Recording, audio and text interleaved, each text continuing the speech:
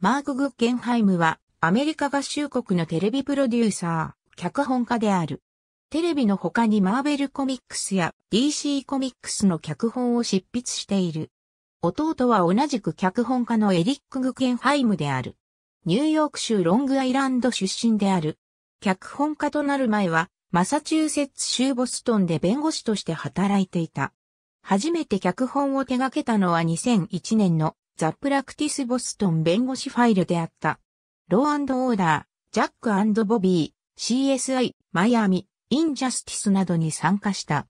2008年には、グレッグ・バーランティと共に、ABC のシリーズ、弁護士、イーライの不思議な日常を制作総指揮した。ABC では後に、ノーオーディナリーファミリーも制作総指揮した。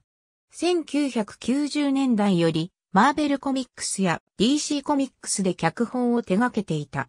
2006年にはザ・フラッシュに参加し、4代目フラッシュであるバート・アレンの死を描いた。